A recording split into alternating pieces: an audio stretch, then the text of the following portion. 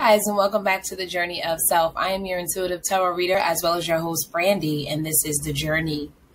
Okay, guys, so as promised, I did actually launch the Journey of Self jewelry collection in July. It has been up on the website, thejourneyofself.org. You can go there and you can buy the jewelry directly off the website.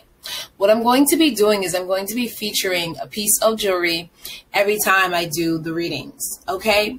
Currently on the website, we do have 80 custom pieces of jewelry on the website, earrings, um, bracelets, anklets, things of that nature. Some are fashionable, such as the Savannah and the Set collection, and others are spiritual, such as these two featured here on the end, such as the Four Elements bracelet as well as the Manifestation bracelets. Okay, so this is the piece that I would like to feature this month, the Manifestation bracelet. All right, as you guys can see, this is a mixture of small beads as well as larger beads, okay? This bracelet is about 11 links or 11 rings, I should say, and can be customized where you can add rings or take rings away. You can also get this bracelet featured without the larger stones, okay? In that particular case, it looks like this. The larger stones are going to be absent, to be absent.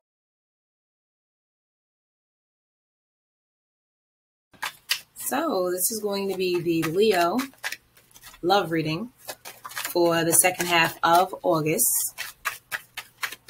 All right, I'm just shuffling, getting the cards out.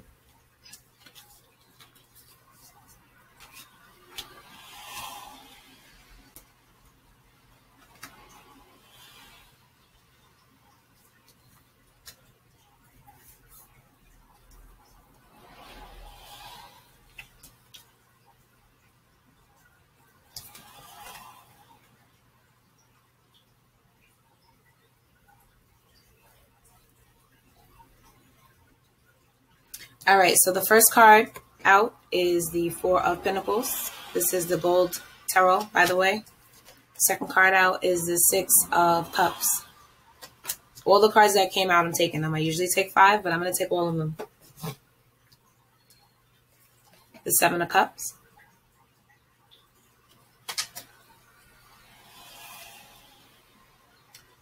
The Queen of Swords the Six of Pentacles.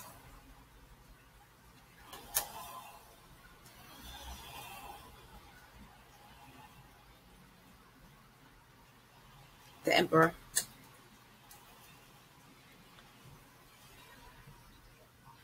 The Judgment card. I want to show you guys these two cards and you guys tell me if you can notice anything about the both of them because I've already pulled these three um, Doreen Virtue Romance Angel cards for you. If you guys can tell me anything about these two cards, there's something very interesting about both of them. Well, if you said these people are these people, there are people in the cards and both cards on their knees, you would be right. So what am I getting first off and foremost from this reading? The Four Pentacles. There is somebody in your midst, whether it's you or the other person, somebody's being selfish. They're holding on to their purse strings or their emotions very tightly. And I also hear time. Time as well. They don't have the time to spare. This person acts like they're extremely busy all the time. Or this could be you doing this, acting like you're extremely busy all the time. You just don't have the time and there was a a rekindling of some type of relationship. This could have been a past relationship that you've had with somebody that's coming back. This person is trying to come back into your life, or this person came back into your life, or you're trying to come back into this person's life. This is somebody you could have known from childhood, or this could be a soulmate. This could be something that you're learning. This person could be the runner, soulmate. But I don't feel like it's that deep. I'm just saying from certain cards here, it could look like it's that deep. I don't think it's that deep, but I feel like you also have a history with this person, so it feels that deep. This person is selfish in certain ways, or you're being selfish. Okay, that's first and foremost. And you're turning this other person into a beggar. or they're turning you into a beggar.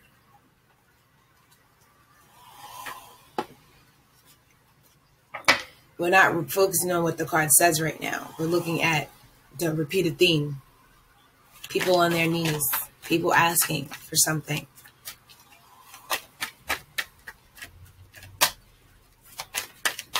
The Seven of Cups always talks about choices, only one being correct. You may have had a choice with this person in reference to this person and somebody else. Not really sure. It doesn't really matter. I feel like this person may be an illusion, or either you're not being honest. Three of Cups.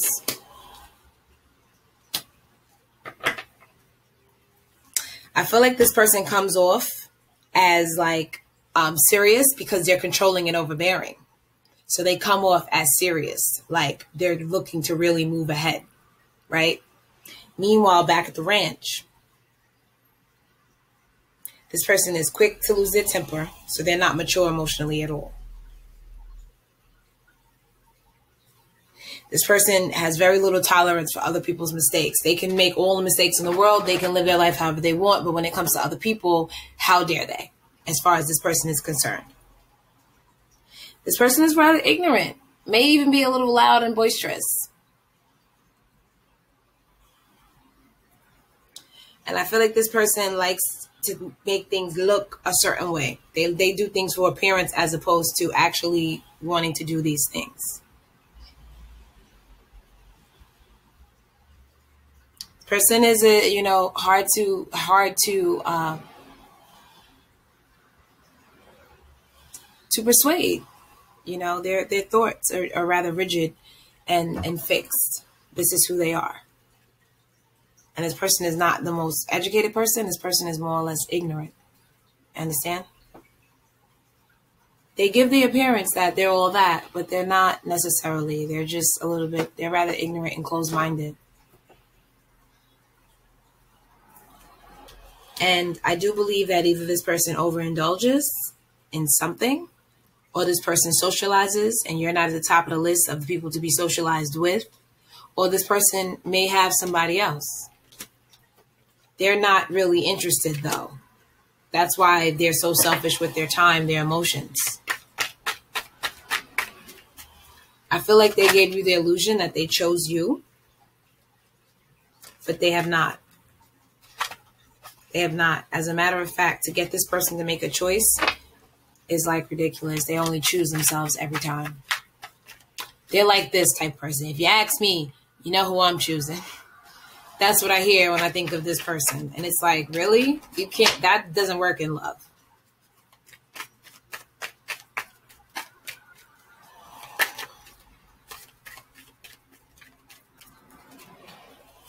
I feel like you guys have to let go of your past. I feel like you guys have to let go of your past um,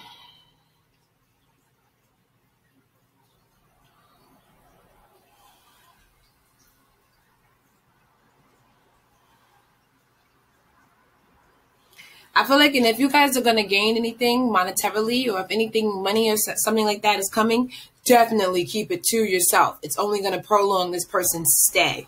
And they're definitely not serious about you, right? It's only going to encourage them to stay and take. So be careful because you guys, I feel like, may not be taking responsibility for your emotions. In other words, you're relying on other people to make you happy. You're not really ready to make decisions and, and stand on your own two feet necessarily in some sort of way. It may not even be monetarily. It could be like emotionally or or or mentally you're you're looking for a codependency in a certain way maybe not even consciously subconsciously however it goes you found it and this person is not nice. Not going to help build you up and make you strong. As a matter of fact, the situation is actually looking like unrequited love. And expressing your your romantic gestures will probably give you more of a clue. Do something nice. I guarantee you this person may not even say thank thank you, nor will they return the gesture. They might not even show up for you to actually perform the gesture. They may say they're coming and they won't even come that's weird because I don't know where that came from, but try that. That's weird, right? Like, do something nice to this person. I bet you they won't even show up. Okay. I feel like you guys, you know, you may have been trying to call this person back into your life for quite some time, and now they're here, and you feel like it's a wish fulfilled. And for the most part, it is. But I think that you're missing the actual um, reward the reward for them coming back is the fact that you can call anything into your life that you desire. However, you have to make your intentions clear. You have to set your goals clearly. You have to know exactly what it is that you want. And that's where you're that's where you're confused. You don't know exactly what it is that you want. I feel like as far as money goes and possessions, they're safe. But you can't trust anything financial with this person because they don't even really have your best interest in your heart at hand. They don't they don't care I'm sorry, guys. I have to say it. They don't really care for you. They they're tolerating you, and they don't have much time to do that. I feel like you guys need to watch out because you may be coming into um, you may be coming into a large sum of money that's come up twice already. Somebody may be receiving some type of uh, wealth some type of gain. Maybe it could even be a, a promotion at work, a bonus, inheritance, anything of that nature, something of that nature. You're receiving some type of monetary wealth, and this person, check it out. This card represents this person from the beginning. The Four of Pentacles. This person could possibly be an earth sign.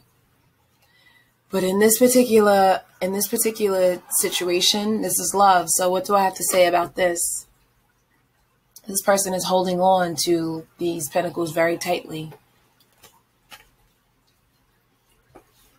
So sharing with the selfish person is not the best idea. Right? That's why I'm saying that these things may be coming. You guys are survivors. You've been through things and you're going to continue to get through them. All right. You guys don't let this jade you. This is a lesson that you had to learn. This is it wasn't meant to hurt you and break you down. It was a lesson you had to learn. You learned a lot about yourself, you learned a lot about your abilities. Okay? And you do have the ability to do great things. However, the Six of Pentacles talks about reciprocity. The Emperor you guys are, I feel like, about to turn into the emperor. That's where your energy is going. Um, there's going to be some type of emperor energy. It may also be that um, maybe your your your male parent is going to bestow you with a gift, or um, you're going to inherit something, and that is going to lead to a different type of stability at the end, you guys will make a choice that will bring renewal to your life. These people are standing up. They're no longer on their knees. So it's going to get better, but you have to keep your eyes open and stop stop ignoring the fact that maybe this person might not be the best.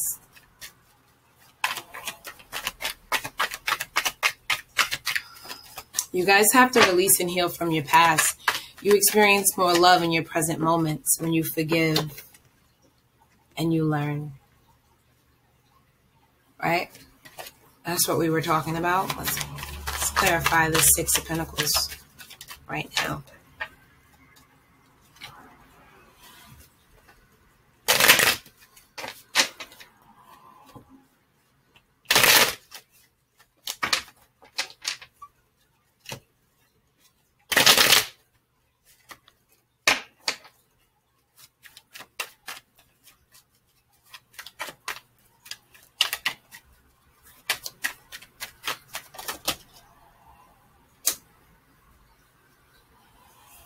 Okay, so you guys may be the ones dealing with life on a very on a very um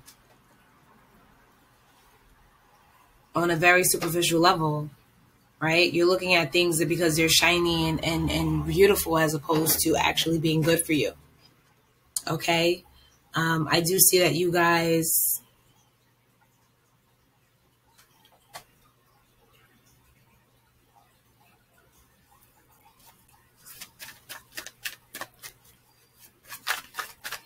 feel like you guys may be a little bit upset about things that didn't work out in your past. And that's okay. You got to understand that, you know, you guys may have overextended yourself and take and taken on burdens that really didn't belong to you. I don't know. maybe this person lives with you or staying with you or you're supporting this person in some type of way, even if it's emotionally. Uh, you have to make the decision to put the burden down to stop taking it all all on yourself. Forgive yourself. Forgive your partners. Forgive your past and learn from it. Sit down and think of these situations as lessons as opposed to losses. If you guys are thinking about doing new creative projects um, in a team setting or at work, go for it. Um, even if you're thinking about doing a new project at home, go for it because it's a great possibility for um, these things to uh, take shape and really, you know, return to you um, a good profit. Why? Through good planning as well as uh, careful preparation. The uh, hmm. I once heard someone say the best way to get over someone is to get under someone new. I don't necessarily believe in the under someone new part, but I do believe in the best thing to do. And it's funny because this card is at the bottom of the deck. I'll show it to you, right? I don't know if you guys understand this, but as a tarot reader, this could mean two things. This could mean a very new spark of passion, romantic, or this could mean a new spark of passion, creative, right? However, this card, as well as the Ace of Wands in general, is very phallic, as we say in tarot. What is that? Oh, and this is on the front of the deck. I don't know. These cards, look. See what I'm saying? Three of Pentacles, right? The Three of Pentacles just came out, right? Wow, that's crazy. First of all, first of all, the Magician, wow. Oh my God. This thing is reading your reading and it's not, these cards are not even supposed to be out or I don't even, that's weird. I don't even know why they're turned that way and I never do weird because it's not weird. Everything can pretty much be explained if you look at it really hard, analyze it. I'm an I'm an Aquarius, so I believe in logic, right? But this is weird though because these are these are cards from your reading. That's sick, and these are not they're not out, but they these are cards that are clarifying. All right. These are cards that are clarifying. That is crazy. Okay. However it goes, I, I don't know if it's confirmation for you guys, but it's definitely confirmation for me. When I read it, I read it like this, and this is what I was trying to say instead of getting under someone new, as I said from the beginning, I don't necessarily believe in that part, but I do believe in starting something else creative. When you've lost something, I believe on moving on and creating something new in your life, beginning a new passion, bringing some new creativity, some new fertility into your life. I believe in that because I know as a magician that I can create any energy in my life that I desire. So what does that mean? It means that I have all the tools I need to create the life that I want. Okay, what does that mean? Go out, be happy, be merry with your friends. Go out and be around people you know care for you. The tower. Let it happen. Do not try and resist the tower moment. There's no reason to. It can be resisted. I've seen it. I've seen people, example, I've seen people um, go into a situation where I've seen people go into a situation where um, this is weird how the camera lightens up when I put this up here, right? That's weird. I just wanted to see that again. And then it darkens again. Anyway, I've seen people go through things where um, it was a clear tower moment in their life. Something really, really bad happened in their relationship. It should be more than obvious that that relationship is over. However, they hold on to it even though it's not good for them. So yes, people talk about, you know, tower moments, but I always say unless jail, incarceration, death, or or you know, bedridden sickness, that sometimes people do ignore tower moments. They do. You know, I, I've seen it happen. However, you guys need to to, you know, encourage yourself to go a different route. Work on something new. If there are new partnerships that are uh, in your life that are trying to come about, work on that. Work on those things. Why? Because these things will bring um, a renewal and a a freshness into your life. Seriously. Okay? That was just the weirdest thing. All right, I'm gonna move on now because that weirded me out. Like, I um, when it comes to things like this, like the esoteric and spiritual things, I was extremely. I grew up in a very extremely religious family, so I've seen and heard a bunch of things. Okay, so just in general, these things do not necessarily um, they never made me actually feel any particular way. I've always been very open to uh, spiritual things ever since I was a child. Obviously, I'm gifted, so um, I've always experienced certain things. Um, my my my ancestors were gifted, so in my family, this is a, this is a normal thing. It's not an abnormal thing at all. It's a normal thing. So, but that was weird to me how it just spoke your entire reading at the top of the deck. And they those cards were never out because I picked one, two, three, four, five, six, seven. These cards from the beginning. Because I said I'm gonna take everything that's out. And then I put, you know, everything back and went on about my life. And at the bottom of the deck was the Ace of Wands. I saw that when I put the cards over there from the beginning.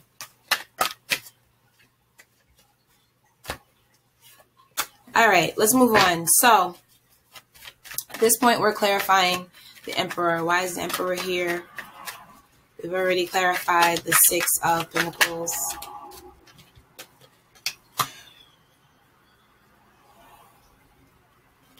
Only to be clarified by the Three of Cups again. As I said, what's going to help you move on and take control of your life is to actually go out and try and, you know, re-energize yourself through friendships and teamwork and team projects and things of that nature and things of that nature social events and trying to actually bring in your own harvest your own abundance. I feel like this person once again clarifying the emperor this person has showed up once again in the reverse. This person in his reverse is maybe a fire sign.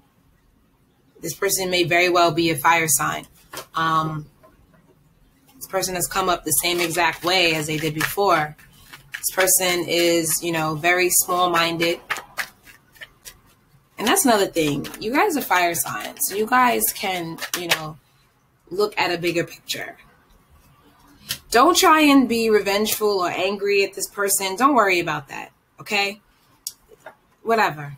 All right. If this person tries to take anything from you, be careful of this person though. Make sure that they do not try to, um, you know, maybe take you to court or something of that nature, or or do anything, you know, to you that could that could cost your freedom or your morality. Take the high road.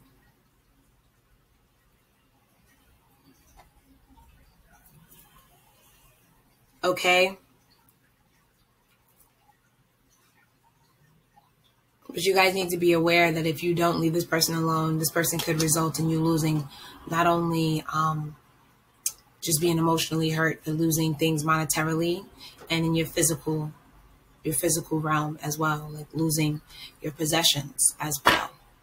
That's why I said if anything comes into your hands that is going to um, make you more abundant, keep it to yourself. It is not to be shared. Do not even let this person know because it's only going to prolong their existence in your life because this person is here to see what they can gain, not to really care and love and all that other stuff emotionally. All right.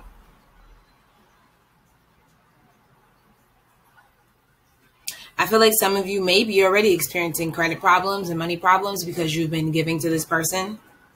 No, no, no. Only give what you can afford to give away. I feel like you guys are um,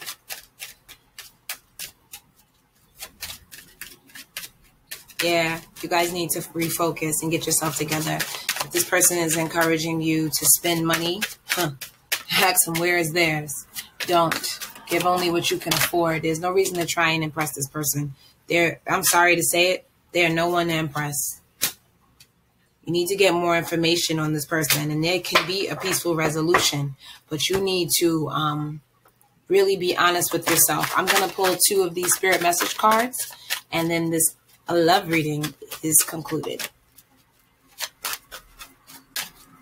I will be doing a life path or a, you know, general career type of reading for you guys. Um, you guys can tune into that. That will be um, up as well.